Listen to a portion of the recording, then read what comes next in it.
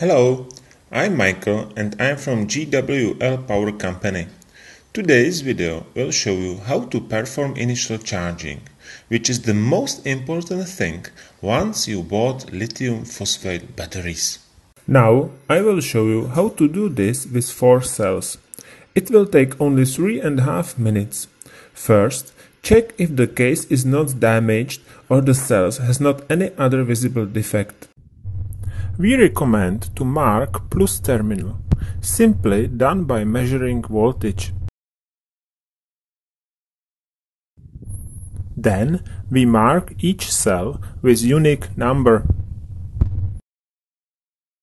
Write the measured voltage to checklist for later purpose. Use only the original copper terminals. There are many reasons why you should never use any other accessories to connect the cells.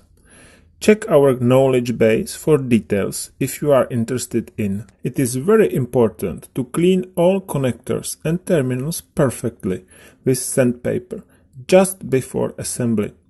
Even small resistance between cells would disbalance the battery. Remove all metal things from your hands. Use stainless steel screws, washers, and spring washers, which comes with original copper terminals. Work with insulated tools. Connect all plus connectors together, then connect all minus together. To be on the safe side, use the fuse on last cell. Use torque wrench up to 9 Newton meters for 6 mm screws or 20 newton meters for 8 millimeters screws. If you don't have it, simply tie the screws gently but firmly. Connect the single cell charger or laboratory power supply to opposite sides of pack.